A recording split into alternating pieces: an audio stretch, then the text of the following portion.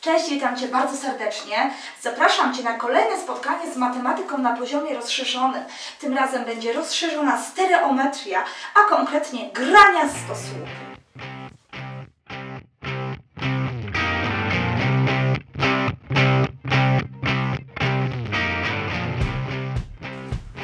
Zadania z wielościanów na poziomie rozszerzonym sprawiają młodzieży nie lada problem, ze względu na to, że często możemy spotykać się z różnymi kątami nachylenia i jeszcze podane są te kąty nachylenia nie w postaci 45 stopni, czy też 30 stopni, tylko podany jest kąt alfa.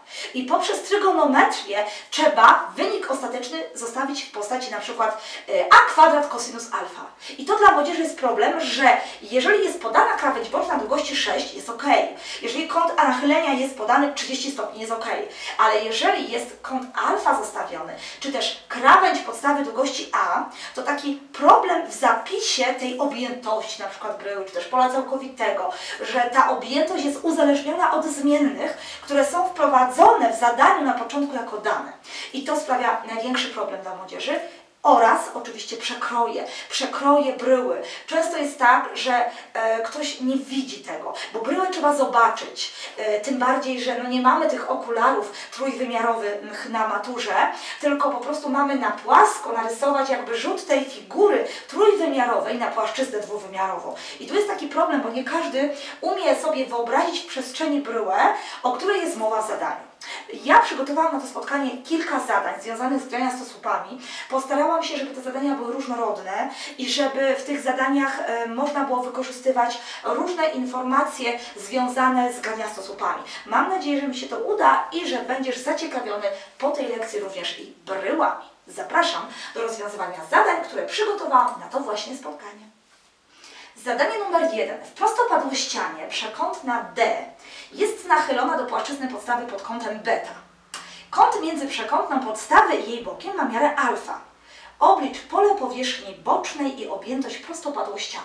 Po pierwsze, no musimy wykonać tutaj rysunek e, tego prostopadłościanu, ale tak naprawdę jego rzut na płaszczyznę dwuwymiarową. Ja mam przygotowany i jeszcze obok narysowałam samą podstawę prostopadłościanu. Po, po pierwsze, przeczytajmy, co my mamy dane w zadaniu. Dane w zadaniu jest D, zaraz zaznaczę na rysunku. Dany jest kąt beta i dany jest kąt alfa. Natomiast naszym zadaniem jest znaleźć pole powierzchni bocznej oraz objętość tego prostopadłościanu. A więc jeszcze raz sobie czytamy i teraz tak. Przekątna D, ja ją zaznaczyłam w tym prostopadłościanie, zapiszemy, że jest D. Ona jest nachylona do płaszczyzny podstawy pod kątem beta, czyli ja ją zrzutowałam tutaj prostopadę na podstawę tą przekątną i zaznaczam, że tu jest kąt beta.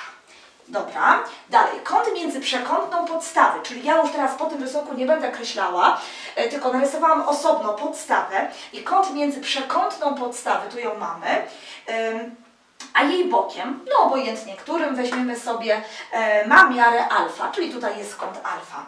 I naszym zadaniem na podstawie takich informacji jest wliczyć pole powierzchni bocznej objętość. I od razu już mówię, że jest to zadanie o tyle trudne, że nie ma tak jakby konkretne, że przekątna wynosi 20, tylko przekątna wynosi d. Nie ma podane, że kąt alfa to 30 stopni. Kąt alfa to jest kąt alfa. Zatem nasze wyniki tutaj pola bocznego i objętości mogą wyrażać literkę D, beta i alfa, te kąty. A więc może zaczniemy od tej podstawy, bo tak widać ładnie. Pasowałoby jakąś zależność e, w tej podstawie tutaj zapisać. No to chociażby widzimy trygonometrię. To jest kąt prosty, no bo wiadomo w prostopadłościanie w podstawie jest prostokąt. Czyli weźmiemy sobie, że tangens alfa mamy u nas to jest B do A. Czyli nasze B to będzie A tangens alfa. Ja sobie wprowadziłam literki A i B, ale one nie były dane. Natomiast tak intuicyjnie, no podstawę e, lubimy, jak krawędzie w podstawie mają literki A i B. Ja osobiście lubię, dlatego tak też wprowadziłam A i B. Ok, ale teraz popatrzmy, no to pewną zależność już mamy zapisaną, ale tylko alfa jest dane, a nie jest dane. Przejdźmy może do tego tutaj trójkąta, bo on oczywiście też jest prostokątny. I teraz może H wyznaczmy, bo i tak nam będzie potrzebne i do pola bocznego, i do objętości H. No więc znowu jaką funkcją trygonometryczną? No sinusem. Czyli sinus beta, patrzymy sobie tutaj w tym trójkącie, sinus beta to jest H do D.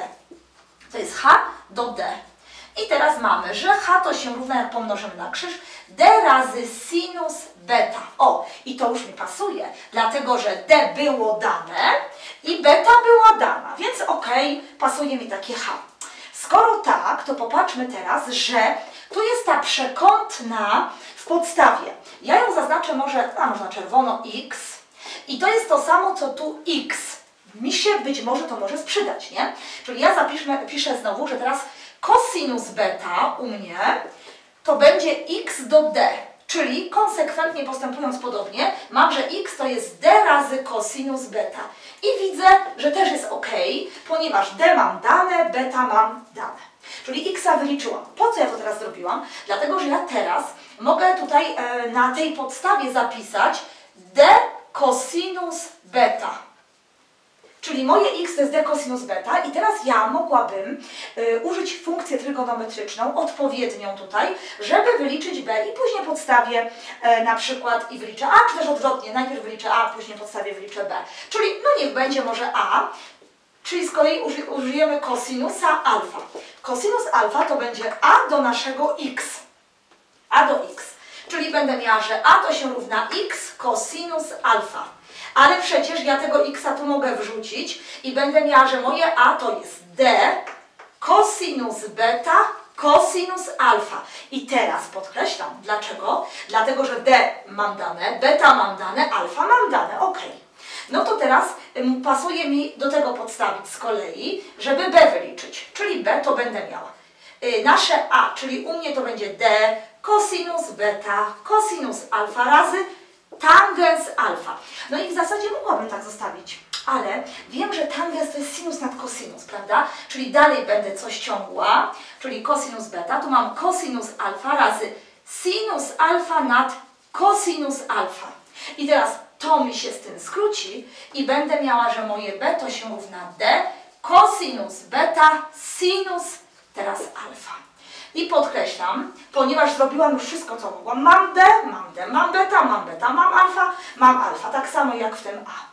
Skoro tak, no to przejdziemy do objętości. Może do objętości najpierw. Czyli objętość to się równa. Pamiętamy wzór na objętość prostopadłościaną. A razy B razy C, tylko że u nas to jest A razy B razy H. Czyli zamiast A piszemy sobie D cosinus beta cosinus alfa raz D cosinus beta sinus alfa. Razy wysokość, a wysokość to było d sinus beta. Czyli V to się równa, no podamy w jak najładniejszej postaci, to po pierwsze te literki D, no to możemy pomnożyć, czyli będę miała D do potęgi trzeciej. Teraz tak, yy, po, poukładamy koło siebie yy, T z alfą, czyli mam tak, sinus alfa, cosinus alfa, podkreślę Tobie, i dalej to poukładam e, z betą, czyli mam z betą tak, cosinus beta, cosinus beta i jeszcze sinus beta. I teraz ja tak specjalnie zapisałam sobie alfy koło alf, bety koło bety, dlatego że e, tutaj podkreślę Tobie, co jest związane z kątem alfa i co jest związane z kątem beta, ale nie wszystko. Sinus alfa, cosinus alfa powinno nam się skojarzyć z takim wzorem z trygonometrii na sinus podwojonego kąta. Tak samo tu by było w przypadku bety. Ale żebym to mogła zrobić, to ja muszę mieć dwa z przodu, bo był taki wzór 2 sinus alfa, cosinus alfa, to jest sinus 2 e, alfa, prawda? No to ja muszę mieć dwójkę, czyli w zasadzie ja muszę napisać tak, d do trzeciej razy jedna druga razy dwa, no bo to się i tak nie skróci, sinus alfa, cosinus alfa.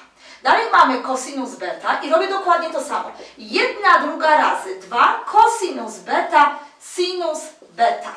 Nie musiałabym tego robić, ale tak, żeby było ładniej. I to jest wzór i tutaj też mamy wzór.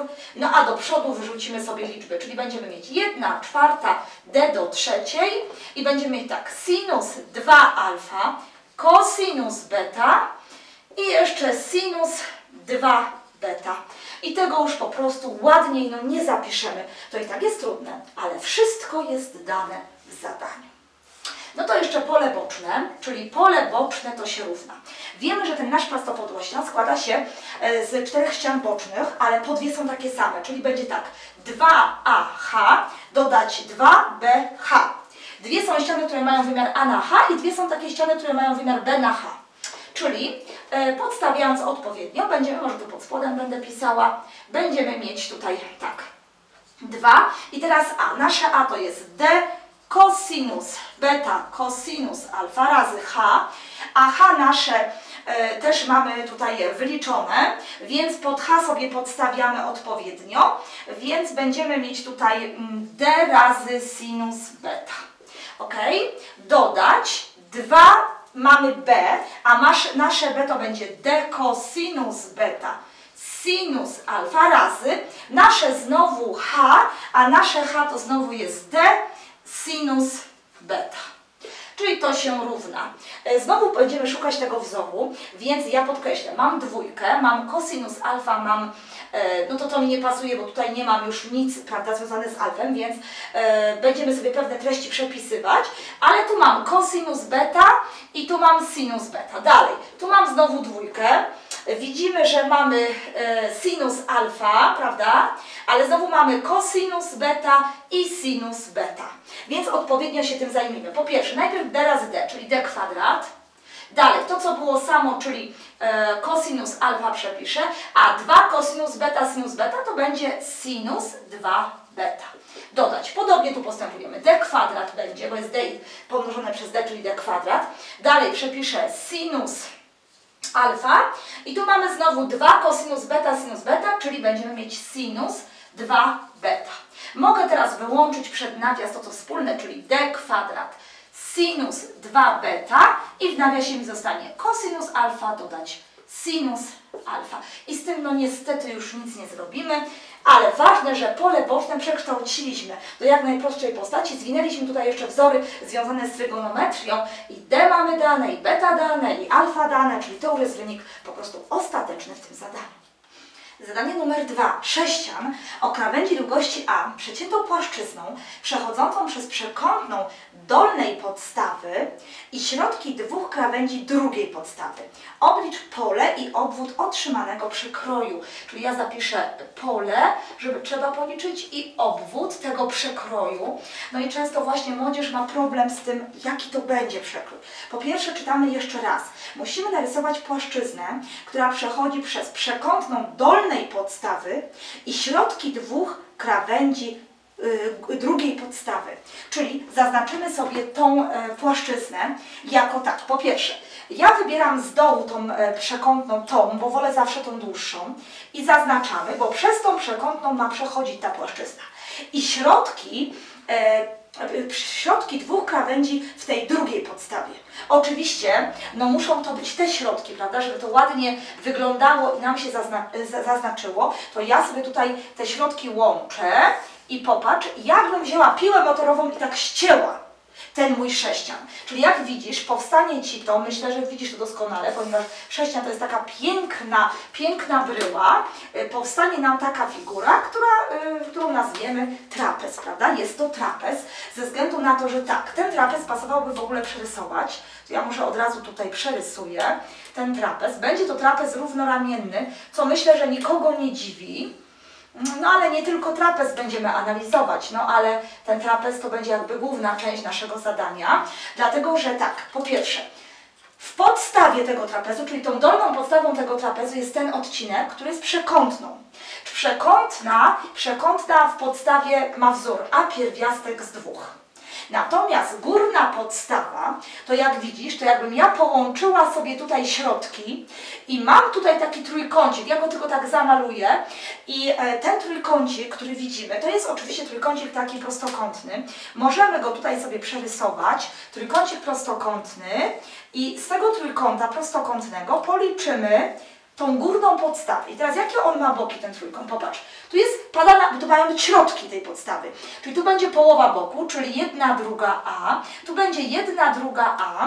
No i tu będzie jakieś, załóżmy sobie, weźmy jakąś literkę jakieś B, prawda? Czyli stwierdzenia Pitagorasa, czy też inaczej można, bo tu widzimy, że jest trójkąt równoramienny, ale myślę, że najszybciej stwierdzenia Pitagorasa. 1 czwarta a kwadrat dodać 1 czwarta a kwadrat równa się b kwadrat. Czyli mamy, że b kwadrat to są 2 czwarte a kwadrat. Po spierwiastkowaniu mamy, że b to będzie a pierwiastek z 2 nad 2. Jeżeli widzisz to szybciej, to super, możesz to od razu zaznaczyć bo to w zasadzie można by było też y, tutaj zastosować y, również trójkąty podobne, ale tak wybrałam, myślę, że tak też jest czytelnie i łatwo. No to mamy to. Teraz tak, ten odcinek, popatrz, to jest ramię i to jest ramię. Ja zaznaczę x-em i teraz, dlaczego to są takie same ramiona? Napiszemy sobie x. Dlaczego? No bo tutaj znowu widzimy, może na czerwono zamaluję ten trójkącik. To jest trójkącik na ściance. I on ma jakie boki? Tu jest jedna, druga A i tu jest A, no bo to jest krawędź w końcu sześcianu. Znowu policzymy go z Pitagorasa za chwileczkę. Już może nie będę przerysowywała tego trójkąta. Popatrzmy na ten trójkąt. Też ma A i tu jest też jedna, druga A. To jest ten sam trójkąt, tylko no inaczej się na niego patrzy, prawda? No ale jest dokładnie ten sam trójkąt i policzymy stwierdzenia Pitagorasa. Czyli jedna, druga A i to do kwadratu dodać a do kwadratu równa się x do kwadratu.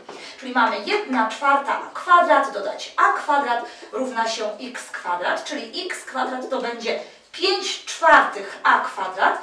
Jak spierwiastkujemy, to będziemy mieć a pierwiastek z 5 nad 2. I to na naszym rysunku sobie zapiszmy, a pierwiastek z 5 nad 2. Czyli z jednej i z drugiej strony oczywiście jest tak samo, mamy policzyć obwód tej figury, więc zapiszmy sobie obwód tego, tej naszej figury f, to się będzie równało co? No mamy dodać podstawy, czyli a pierwiastek z 2, dodać a pierwiastek z 2 nad 2, dodać 2 razy a pierwiastek z 5 nad 2, ze względu na to, że oczywiście jest to trapez równoramienny. Czyli to się równa. Tu mamy jakby dwie drugie, dodać jedna druga, czyli mamy trzy drugie a pierwiastka z dwóch, dodać, dwójeczki się skrócą, a pierwiastek z pięciu. Mi się oczywiście to podoba, ale jeżeli wolisz lepiej, to możesz sobie a wyłączyć przed nawias i wtedy, będą trzy drugie pierwiastka z dwóch, dodać pierwiastek z pięciu i to będzie w nawiasie. To jest wyrażony obwód. Oczywiście pamiętaj, że a było dane, tak? Bo to było, to była dane w zadaniu. Dana liczba, prawda? No, to znaczy dana w postaci literki, ale jakaś tam dana, prawda? Bok wynosi, ma długość A. Tyle. To jest dana informacja w zadaniu. Czyli nie bój się, że Twój obwód będzie z literką A. No to teraz pole, nie? No to pole trapezu, no to pasuje nam poprowadzić oczywiście tutaj wysokość i z tej strony też prowadzimy wysokość. I teraz jak poprowadzimy tą wysokość, no to nazwiemy sobie literką H, standardowo jak to wysokość. I teraz wiemy, że e, w tym e, trapezie równomiennym ten odcinek jest taki sam jak ten odcineczek i teraz ja go na przykład napiszę Y, Y, bo takiej literki jeszcze nie było i teraz jak wyliczyć tego Y?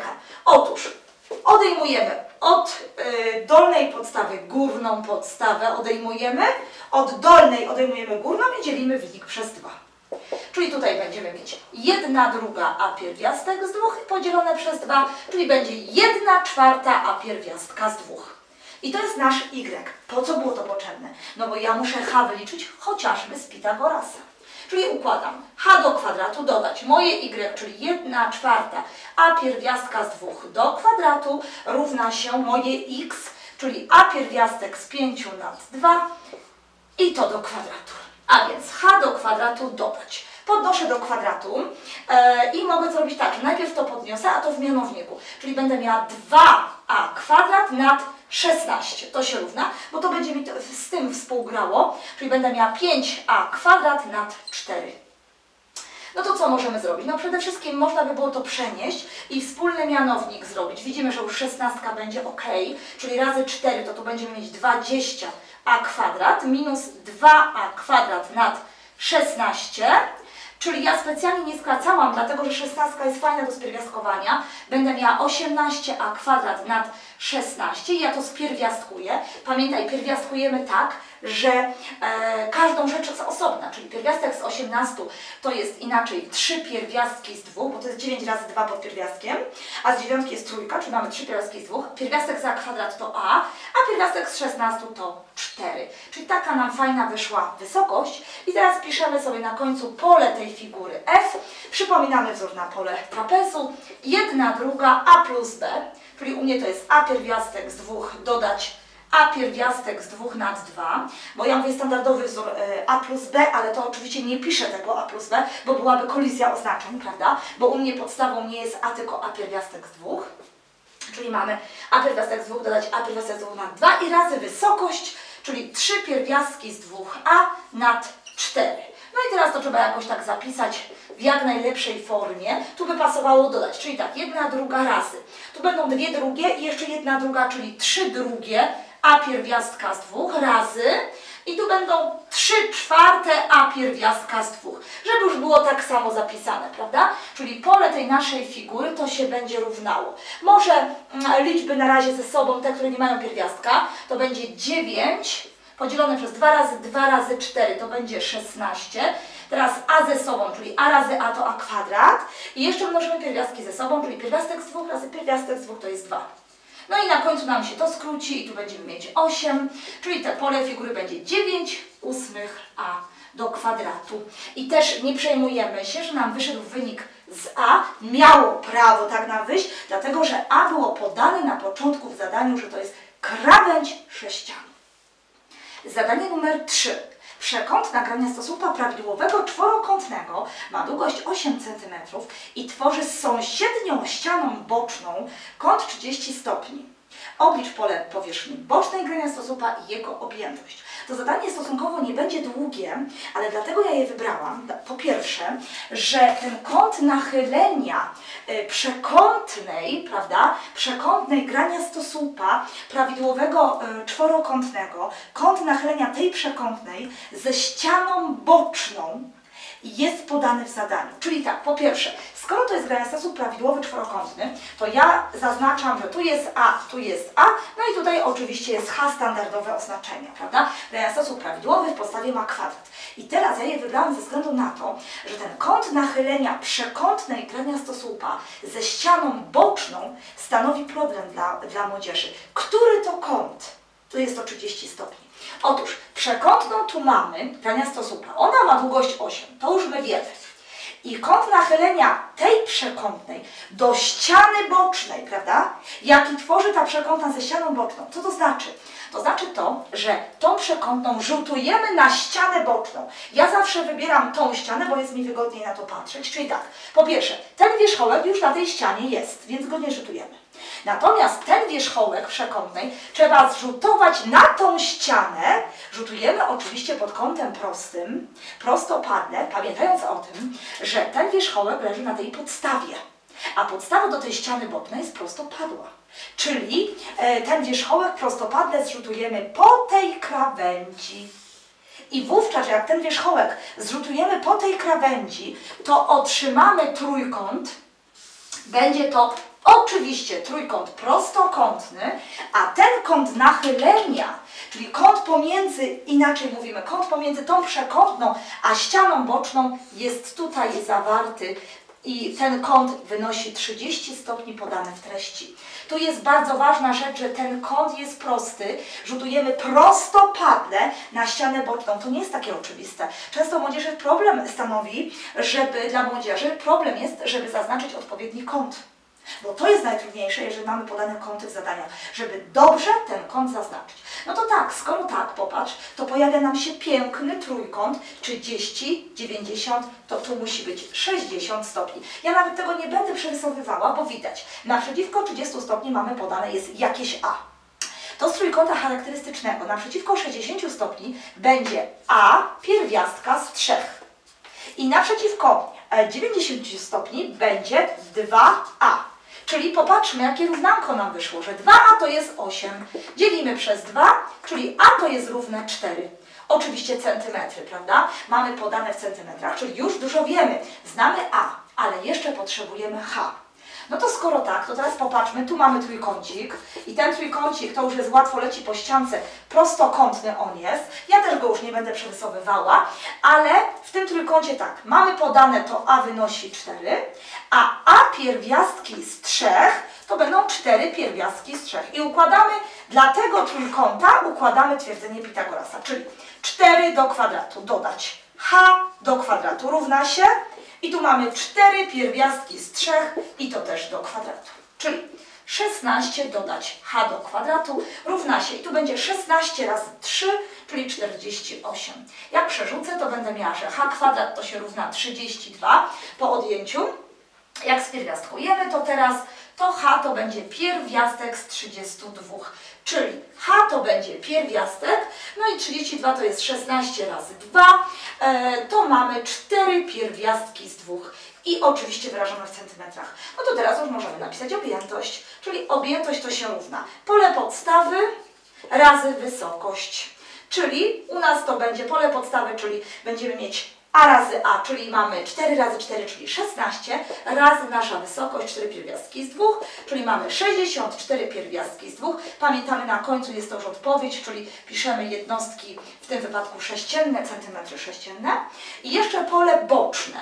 A więc pole boczne, zobaczmy, yy, te ścianki boczne, jest ich 4 i są identyczne, bo to jest grania sposób prawidłowy. Czyli będzie 4 razy i każda ścianka boczna ma wymiar a na h czyli 4AH po prostu.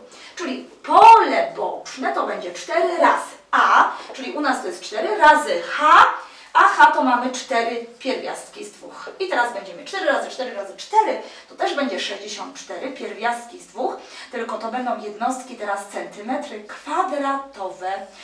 I pamiętaj, e, tu mamy inną jednostkę, tu mamy inną jednostkę. W odpowiedzi trzeba te jednostki uwzględnić. Zadanie obliczeniowo łatwe jak na poziom rozszerzony, aczkolwiek trudność może sprawiać e, ten kąt nachylenia. To zadanie mogłabym też dołożyć jakby do podstawy, bo to nie jest zadanie zbyt trudne, ale e, ten kąt nachylenia powoduje, że trzeba troszeczkę pomyśleć, a czasem na podstawie jest problem z tym, żeby te kąty takie specyficzne zauważyć. Dlatego specjalnie to zadanie akurat przygotowałam na poziomie rozszerzonym, na powtórki e, właśnie rozszerzone do matury.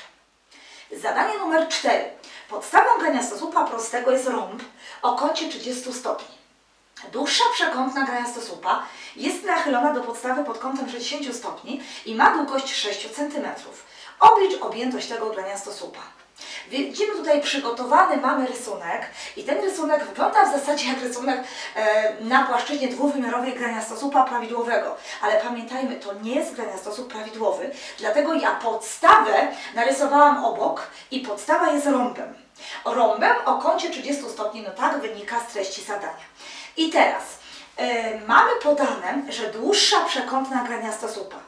Zauważ, że tutaj poprowadziłam Ci dłuższą przekątną rąbu, widać, że ta jest dłuższa. I ta dłuższa przekątna grania stosupa, którą oznaczamy literką D, yy, tak w treści tutaj zaznaczyłam, to ta dłuższa przekątna grania stosupa leży centralnie nad dłuższą przekątną tego rąbu.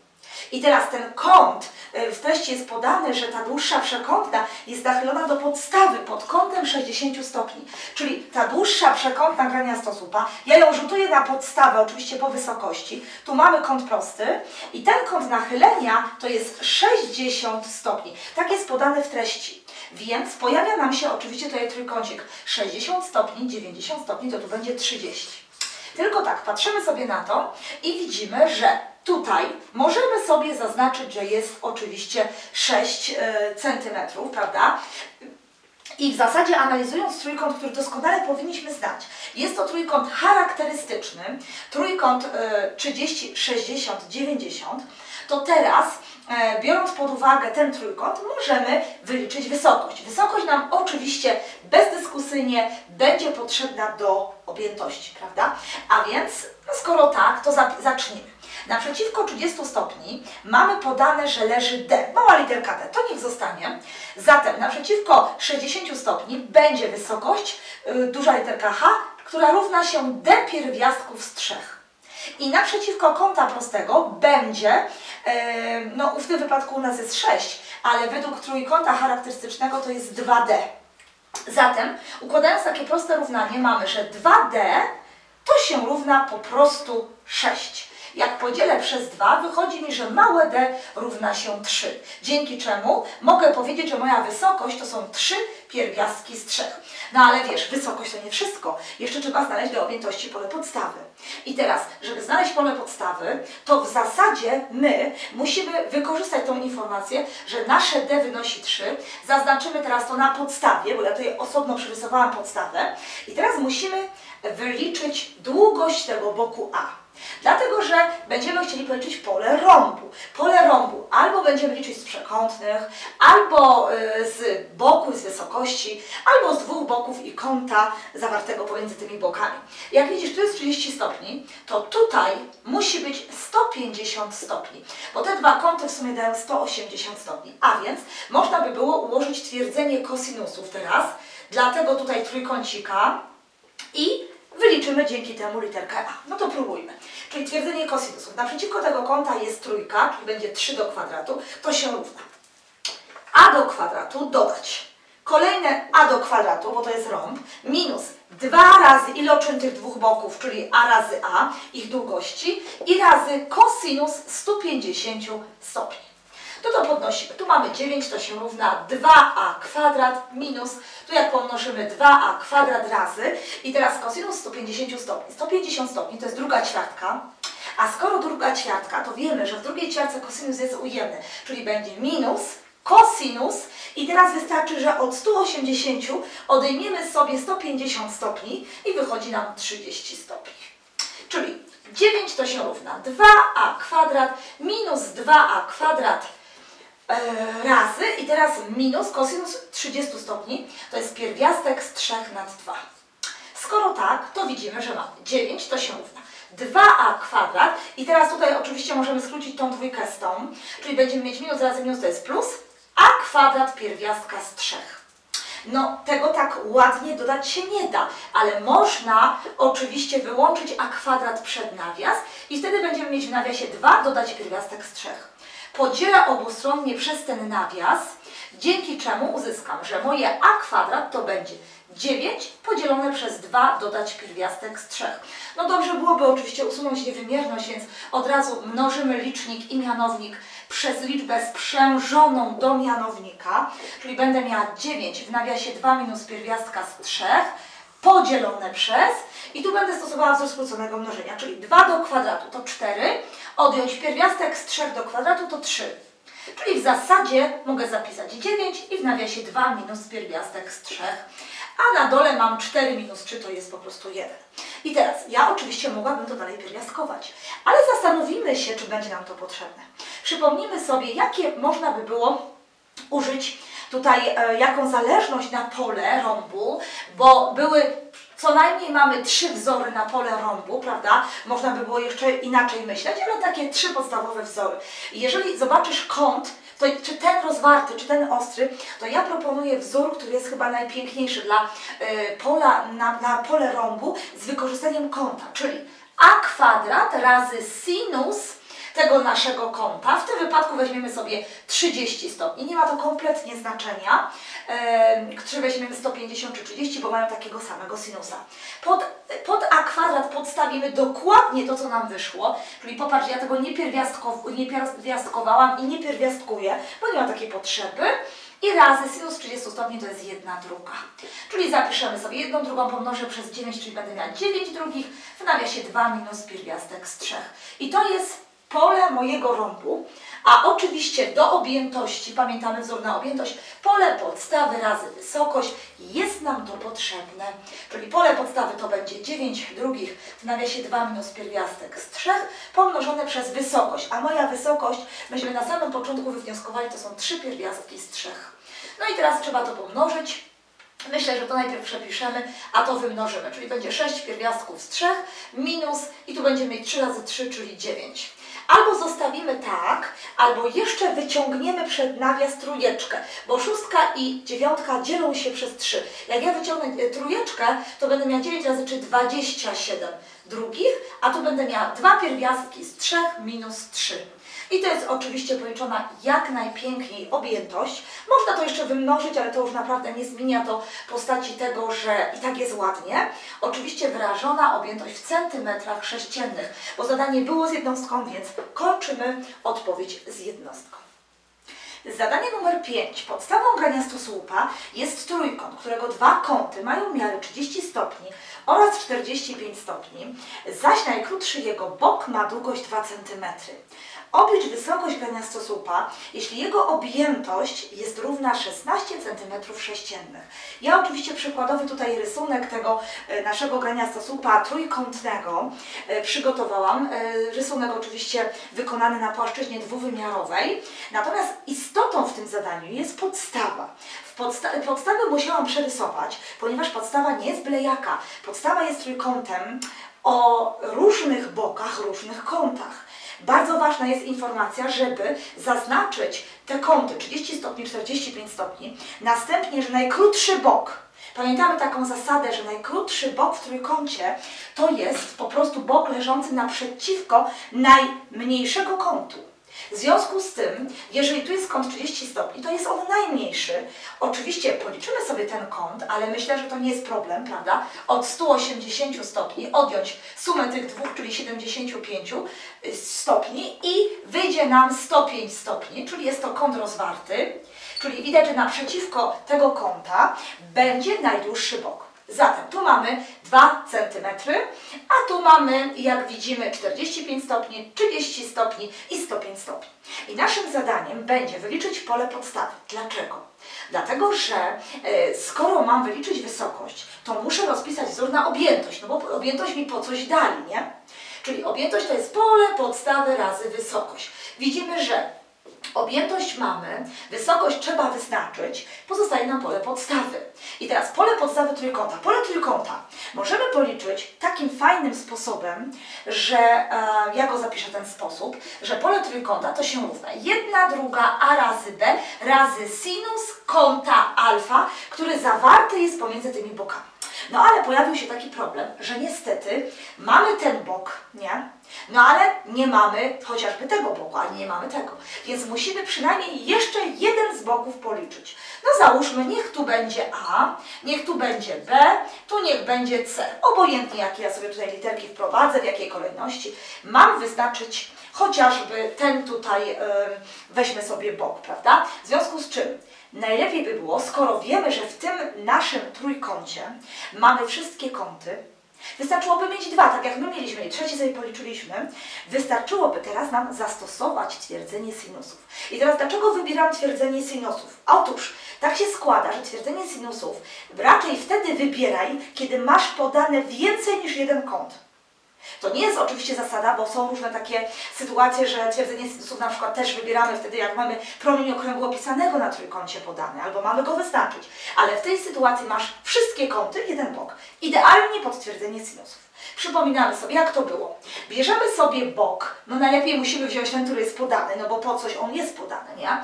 Czyli bierzemy sobie bok długości 2, czyli 2, podzielone przez sinus przeciwległego kąta, czyli sinus 30 stopni, to się równa, no i ja sobie na przykład wezmę to B podzielone przez sinus przeciwległego kąta, czyli sinus 45 stopni. No bo mi jest wygodniej wziąć te kąty ostre. No więc mam 2 podzielone przez sinus 30 to jest 1 druga, to się równa b podzielone sinus 45 to jest pierwiastek z 2 nad 2. I teraz mnożąc oczywiście na krzyż mamy 1 druga b, to się równa 2 razy pierwiastek z 2 nad 2. Te dwójeczki mi się skrócą, pomnożę obustronnie razy 2, dzięki czemu będę miała, że b to są dwa pierwiastki z 2. Czyli mam już kolejny kolejny jakby bok tego trójkąta mogę zapisać dwa pierwiastki z dwóch, tu były centymetry, więc już dopiszę tutaj centymetry. I teraz muszę policzyć pole trójkąta. No najprościej oczywiście tym wzorem. Ten wzór jest oczywiście uniwersalny, ponieważ ja tutaj mogę obojętnie jakie boki podstawiać, tylko pamiętać o tym muszę, że wtedy kąt leżący pomiędzy tymi bokami. Czyli ja będę tutaj y, podstawiała te boki, które są dane, czyli lecimy jedna, druga razy i tak, mam ten bok, mam ten, no mogłabym też ten A policzyć, ale w sumie po co mi to? Czyli jedna, druga razy, dwa razy dwa pierwiastki z dwóch razy sinus kąta pomiędzy nimi, czyli pomiędzy tymi dwoma bokami jest 105 stopni, czyli sinus 105 stopni. To się równa. Mi się skrócą dwójeczki i mam tak, dwa pierwiastki z dwóch raz.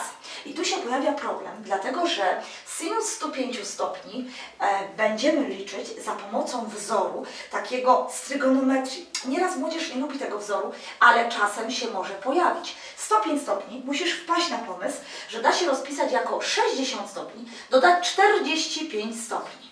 I teraz kłania nam się taki wzór, ja go zapiszę tutaj, że sinus alfa plus beta to się równa sinus alfa cosinus beta dodać sinus beta cosinus alfa. To jest tak na przemian sinus z cosinusem różnych kątów. No i stosujemy sobie ten wzór. Czyli będziemy mieć dwa pierwiastki z dwóch razy i tak sinus 60 stopni razy cosinus 45 stopni dodać i teraz weźmiemy sinus 45 stopni razy cosinus 60 stopni.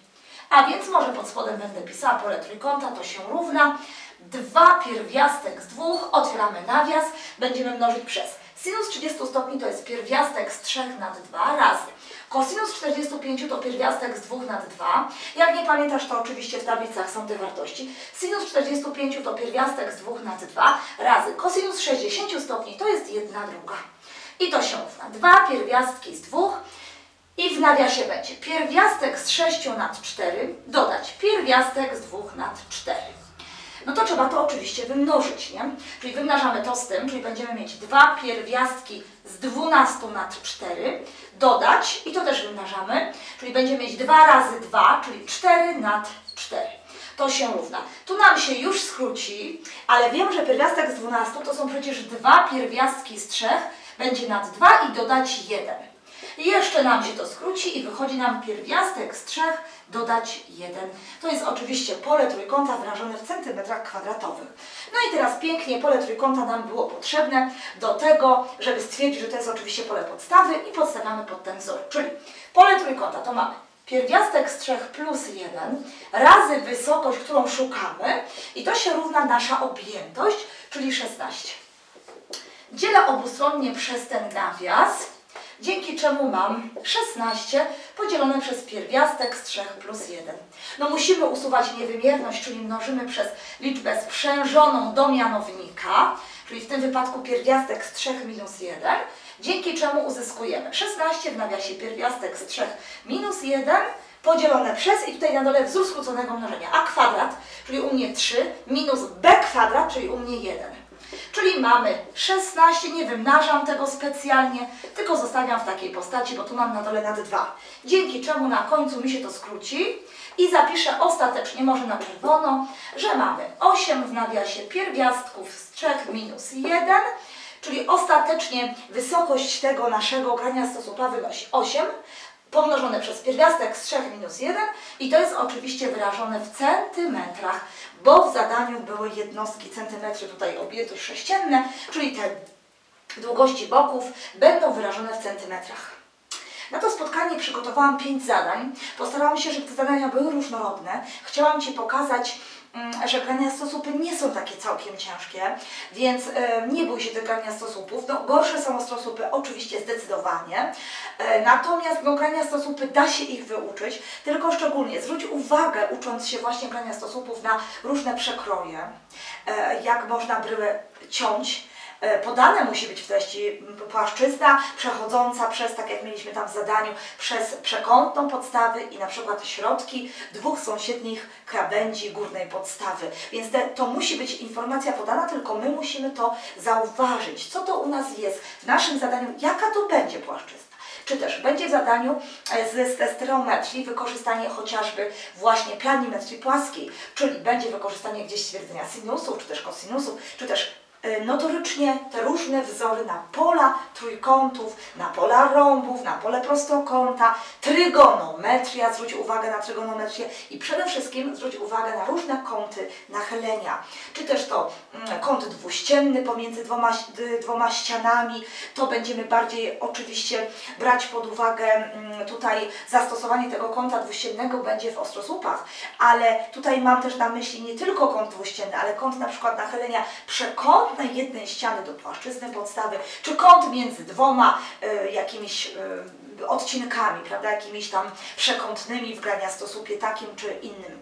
Dlatego to wszystko jest ważne, żeby umieć, żeby widzieć. No niestety do y, tego, żebyś tak płynnie rozwiązywał zadania z stereometrii, potrzeba tej wyobraźni przestrzennej. Wyobraź przestrzenna, ta wyobraź nasza przestrzenna jest kształtowana przez lata. To nie jest tak, że my nagle się nauczymy, nagle zaczniemy wyobrażać sobie. Nie, my musimy to ćwiczyć, ale wiadomo, że im y, szybciej to poćwiczysz, tym lepiej. Im lepiej Ci to wejdzie do głowy, tym większy sukces na maturze.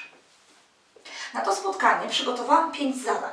Postarałam się, tak mi się wydaje, przygotować te zadania dosyć różnorodne. I w jednym zadaniu był przekrój, w innym zadaniu był podany kąt nachylenia e, przekątnej do ściany bocznej. W innym zadaniu był, był tak jak tutaj mm, podany, mm, podane kąty przy tej figurze w podstawie. E, różne rzeczy chciałam na tej jednej lekcji e, z Tobą przypomnieć, bo stereometria bywa trudna, aczkolwiek grania stosupy nie są aż tak bardzo skomplikowane jak ostrosłupy. Dlatego przy nauce e, w ogóle stereometrii musisz zwrócić uwagę szczególną na planimetrię, bo nie da się, żebyś umiał rozwiązywać zadania z grania stosupów, jeżeli nie będziesz pamiętał wzoru na pole trójkąta, prawda? Jak liczyć pole trójkąta, czy też pole rąbu. Więc to wszystko się ze sobą łączy, dlatego stereometria jest trudniejsza, ponieważ nie same, a, nie same bryły tutaj wchodzą w rachubę. Tu wchodzi tak na, naprawdę w rachubę to, czy umiesz rozwiązywać zadania z trójkątem, z czworokątem, czy widzisz to w przestrzeni, prawda, jak wygląda ta bryła, jak będzie wyglądał jej przekrój, gdybyśmy chcieli tą bryłę przekroić. Mam nadzieję, że na tych zadaniach postarałam się Tobie powtórzyć to, co najważniejsze. Ja oczywiście zachęcam do pracy własnej, bo nie można powiedzieć, że z pięciu zadań jesteśmy świetni z grania stosupów. Grania stosupy trzeba ćwiczyć, zadania trzeba ćwiczyć samodzielnie, ale mam nadzieję, że dla Ciebie będzie to dobry trening przed maturą. E, Zapraszam Cię jak zwykle na moją stronę internetową ajkamat.pl No i jak zwykle oczywiście na kolejne spotkanie powtórkowe przed maturą. Do zobaczenia!